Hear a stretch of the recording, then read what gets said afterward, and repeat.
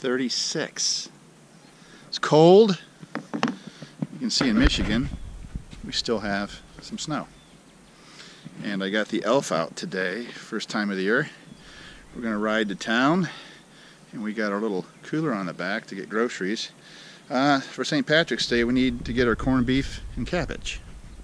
And that's what we're doing today. So, it's about uh, 12 miles to the store and 12 miles back. Uh, I'll put my side windows in so it's warmer, keeps out the wind. Going to get some corned beef and cabbage.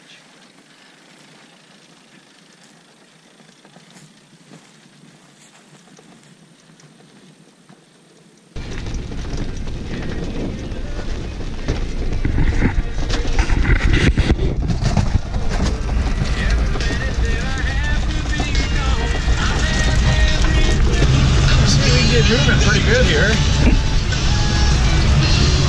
We're at, I don't know, 60 miles an hour.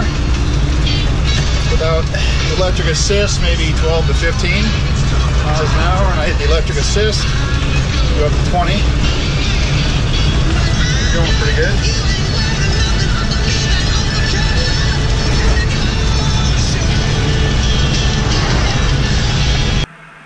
It would be terribly cold on a regular bike today.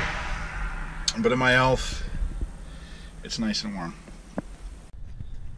Made it to the Kroger's. Now we're gonna go in. And we got the carrots. Some celery.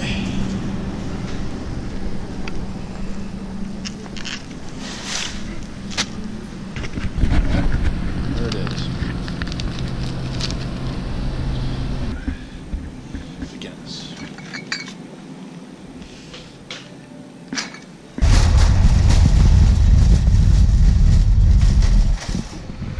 So, beer.